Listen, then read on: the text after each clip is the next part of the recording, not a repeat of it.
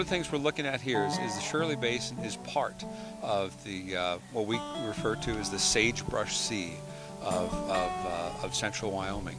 And, and what that is, is this, this vast, vast space of, of sagebrush habitat, which is, which is critical to species like, like sage grouse, which what we call sagebrush obligates. Uh, they require sagebrush to survive. But pronghorn antelope, you know, another species that, that lives out here and relies on sagebrush as, uh, as part of their winter feed and cover. Uh, so many species of birds, sage thrashers, uh, sage sparrows live here, brewer sparrows, many, many species of birds uh, require this habitat. We started the BioBlitz this year because of our concern for the sagebrush steppe ecosystem. It's an imperiled ecosystem here in Wyoming and throughout the West. And we were really concerned about, you know, the energy boom cycle that's going on. So we planned this BioBlitz. So one, we could inventory the species and see what's really out here.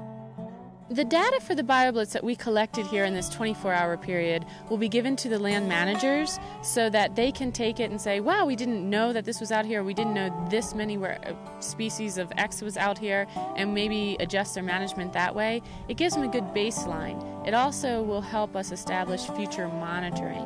Here we've had some surprises this weekend as far as insects and some birds and mammals. We're about to go out and check right now.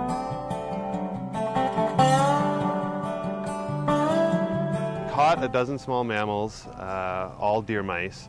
Um, and while we were out there, we also um, saw prairie dogs, uh, Wyoming ground squirrels, and uh, cottontail rabbit and jackrabbit. Um, and we saw a lot of signs of other things. Well, we just found uh, northern leopard frogs, and uh, there was a couple of uh, greater shorthorn lizards that were found. And there's a few more things that, that you know could be in the area. We set traps out in this pond to look for uh, aquatic reptiles and amphibians. Um, we expected maybe we might find some tiger salamanders, so we uh, set out these uh, funnel traps. Um, we don't bait them with anything, you merely just place the traps out into the pond. This is a tiger salamander here. Um, they're fairly common in the area.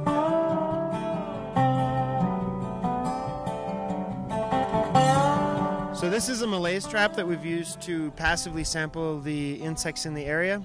The insects fly into it and wander up into our uh, chemical trap where they're killed, and we wind up with a very large sample of, of various insects. It's an excellent way of passively collecting insects over a long period of time. As far as why we want to survey insects as a part of the BioBlitz, insects occupy the base of an ecosystem. They're the pollinators, they're one of the smallest predators and some of the smallest prey. And so it's very important when looking at an entire ecosystem to understand what insects are present because they're they're such an important part of the ecosystem. Um, without the insects in the ecosystem, the ecosystem would completely fail so many of the people that came out with us today were so excited about um, seeing what they could see. Uh, and the kids are great, and, and, and, dealing with the kids is always wonderful. And, and if you can instill in them um, an appreciation for this type of landscape and appreciation for these type of animals, then that's what's going to ensure the, the long-term preservation of this stuff. Because we're only going to be around for so long.